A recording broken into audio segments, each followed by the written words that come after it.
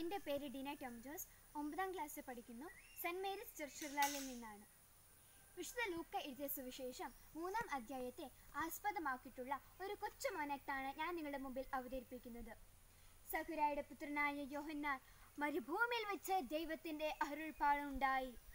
മാനസാന്തരപ്പെടുവിൻ. സ്വർഗരാജ്യം സമീപിച്ചിരിക്കുന്നു. ഇതാ ഞങ്ങൾ ഞങ്ങളുടെ പാവങ്ങളെല്ലാം ഏറ്റുപറയുന്നു.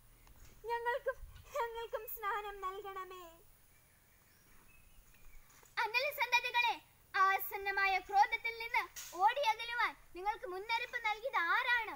ഞങ്ങളുടെ പിതാവായ അബ്രാഹം ഉണ്ടെന്ന് നിങ്ങൾ അഭിമാനിക്കേണ്ട. ഈ കല്ലുകളിൽ നിന്ന് അബ്രാഹമിന്റെ സന്തതികളെ പുറപ്പെടുവിക്കുവാൻ ദൈവത്തിന് കഴിയുമെന്ന് ഞാൻ നിങ്ങളോട് പറയുന്നു. വൃക്ഷങ്ങളുടെ വേരിന് കോടാലി വെക്കപ്പെട്ട് കഴിഞ്ഞു. അത് നല്ല ഫലം നൽകിയില്ലെങ്കിൽ വെട്ടി തേടരപ്പെടും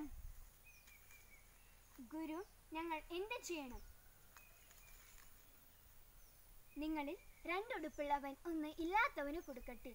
ഭക്ഷണവും അതേപോലെ തന്നെ. ചുങ്കക്കാരും ജ്ഞാനം സ്വീകരിക്കുവാമെന്നു. ഗുരു ഞങ്ങൾ എന്ത് ചെയ്യണം? നിങ്ങളോട് ആജ്ഞാപിച്ചിട്ടുള്ളതിനേക്കാൾ കൂടുതൽ ഈടാക്കരുത്. ഗുരു ഞങ്ങൾ എന്ത് ചെയ്യണം? നിങ്ങൾ ആരെയും ഭീഷണിപ്പെടുത്തരുത്. വ്യാജമായ കുറ്റാരോപണവും അരുത്. വേതനം കൊണ്ട് തൃപ്തിപ്പെടണം.